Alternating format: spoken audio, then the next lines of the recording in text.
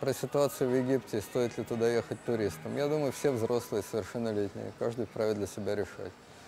Любители экстремального туризма, наверное, лучшего места для себя не найдут. Нормальные люди, которые стремятся отдохнуть, а не впрыснуть в себя адреналин, едва ли поедут в Египет. В любом случае, люди совершеннолетние. Я надеюсь, что забота Государственной Думы о том, чтобы дети, дети, дети не будет распространяться на этих детей, которые едут в Египет. Я имею в виду на взрослых людей, которые едут в Египет.